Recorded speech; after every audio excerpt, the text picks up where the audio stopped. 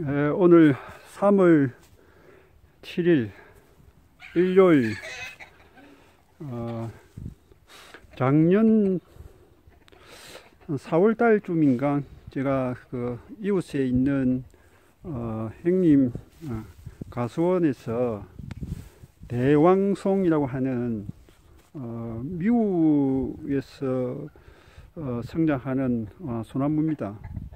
작년 여기에 제가 4월달에 옮겨 심었었는데 옆에 보면 이게 어,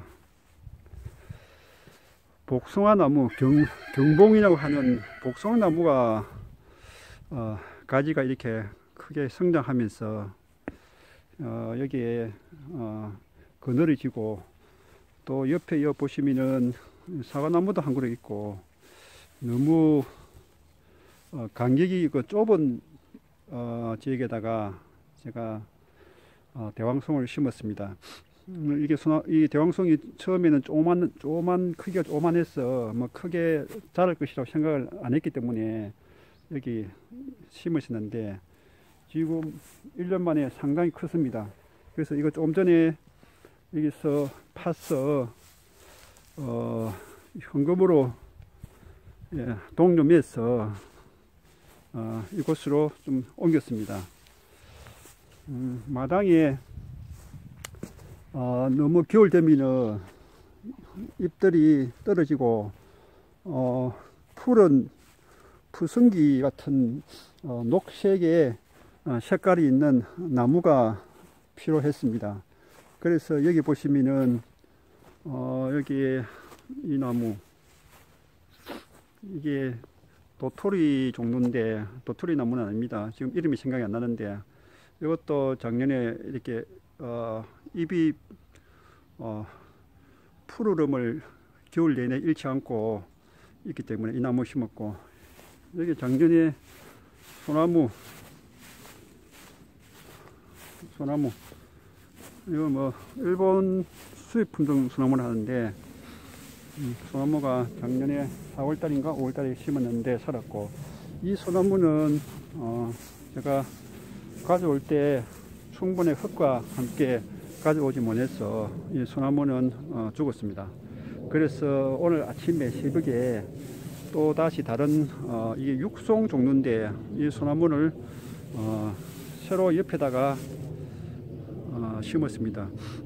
이게 그 산에 폐석 어, 폐석 어, 돌이 많은 지역에다가 이 소나무가 있었기 때문에 어, 옮겨오면서 흙이 다 떨어지고 겨우 뿌리만 일단 붙여 왔는데 살는지 잘 모르겠습니다. 어, 여기에 어, 서로 아침에 심었습니다.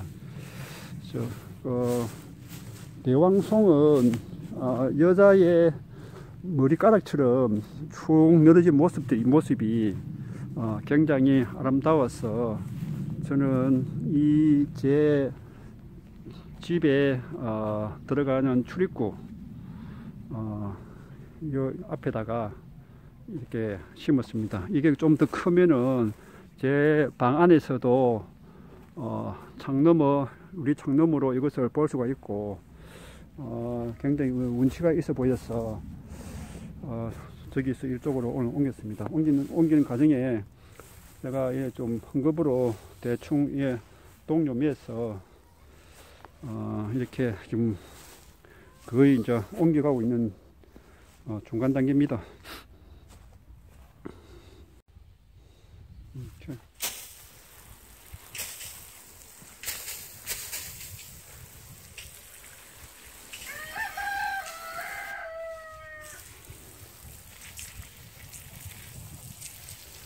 일단 1차로 흙을 먼저 좀 넣고 난 다음에 어, 물을 이렇게 흠뻑 적셔줍니다. 적셔주고 난 다음에 다시 그 위에다가 흙을 어, 좀 올리고 흙 올리고 난 다음에 다시 또 물을 부어주고 이렇게 해서 어, 발로 바른 것이 아니라 물로서 어, 흙이 압착되도록 음, 이렇게 심습니다.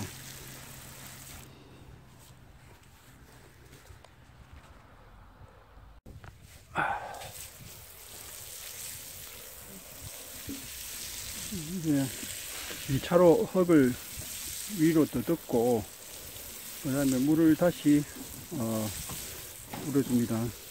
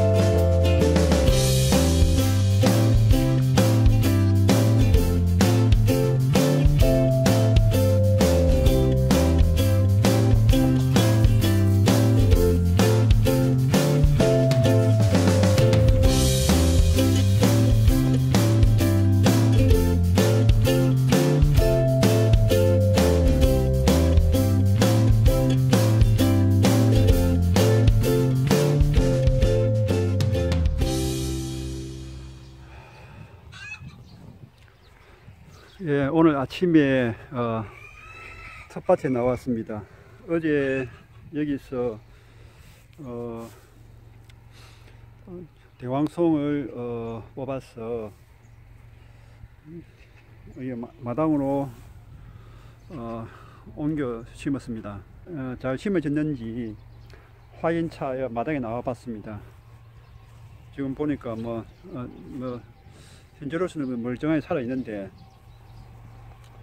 뭐 뿌리채로 옮겼기 때문에 음, 큰 지장 없이 잘 살아갈 수 있을 것으로 봅니다.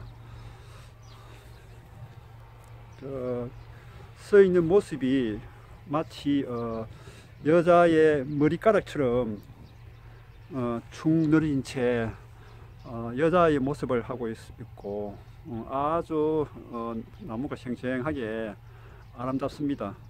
이것이 좀 더 커서 이 마당에 아주 그 이국적인 어, 필리핀이나 이런 어, 아주 더운 날씨, 더운 지, 어, 나라에 서 있는 나무처럼 아주 이국적인 어, 모습을 어, 보여줄 것으로 어, 기대합니다.